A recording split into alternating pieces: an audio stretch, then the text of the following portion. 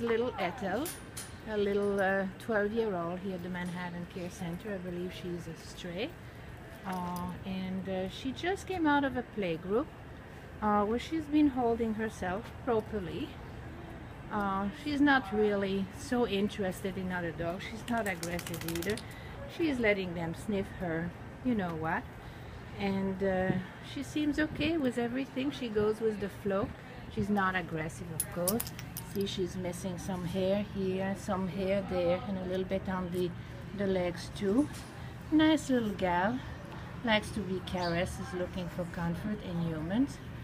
Really nice girl. Oh, we are submissive too, right? We are submissive too.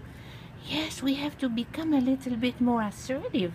Maybe in a foster home or with an adopter, we will become the queen of the house, like any chihuahua, right? So, this is little Talia, little girl, an adorable little girl here at the Manhattan Care Center, straight to us.